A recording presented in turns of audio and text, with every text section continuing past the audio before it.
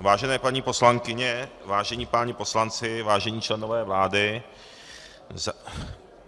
vážený člene vlády, zahajuji další jednací den přerušené 35. schůze Poslanecké sněmovny. Aby byla zaznamenána naše účast, nejprve vás odhlásím a přihlaste se prosím znovu svými hlasovacími kartami, identifikačními kartami, a případně mi oznámili, kdo žádá o vydání náhradní karty. Náhradní karty a jejich čísla už byla jinak hlášena před tím přerušením, takže jestli má někdo nějakou změnu, tak mi tady nahlaste. Omluvy byly také načteny už na 36. schůzi a náhradní karty byly také už načteny na 36. schůzi, takže jestli má někdo nějakou změnu teď aktuálně, můžete mi nahlásit. Dnešní jednání bychom zahájili pevně zařazenými body 41, sněmovní tisk 516, 42, sněmovní tisk 479, 43, sněmovní tisk 530, 49, sněmovní tisk 545 a bodem 50, sněmovní tisk 295. Poté bychom případně pokračovali dalšími body dle schváleného pořadu schůze. Mám tady jednu žádost, ale já přečtu omluvy nejdřív o přednostním vystoupení. Omlouvá se pan poslanec Jan Bartošek dnes od 15.30 hodin do zítřejších 12 hodin z pracovních důvodů. Omlouvá se paní poslankyně Věra Kovářová dnes 6.11. od 15.30 do 16.30 z důvodu pracovního jednání. Omlouvá se paní poslankyně Věra Adámková, a to mezi 15.30 a 16 hodinami z pracovních důvodů. Omlouvá se pan poslanec Jiří Mihola dnes od 15.30 do konce jednacího dne z pracovních důvodů.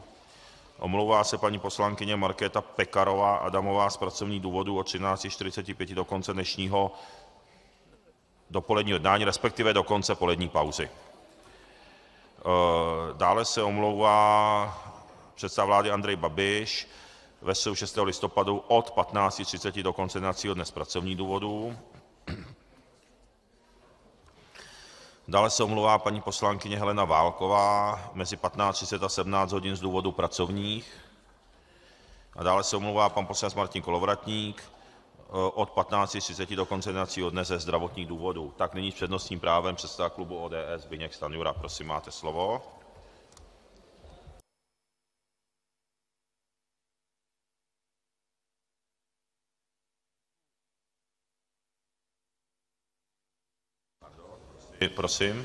Děkuji, pane místopředsedo, vážený pane ministře, kolegyně, kolegové, dovolte mi, abych jménem našeho klubu navrhl jednu změnu programu. Navrhuji, abychom dnešní odpolední jednání zahájili bodem číslo 207, který se jmenuje vládní návrh zákona, kterým se mění zákon číslo 117 1995 Sb., o státní sociální podpoře, ve znění pozdějších předpisů, sněmovní tisk 490, třetí čtení. Je to takzvaný rodičovský příspěvek. Současně navrhuji v souladu s paragrafem 95a, aby Poslanecká sněmovna vyčlenila pro hlasování ve třetím čtení pro tento sněmovní tisk dobu o 15.30 do ukončení hlasování o návrhu tohoto zákona. Děkuji za podporu tohoto návrhu. Jak vidíte, jsme vstřícnost sama.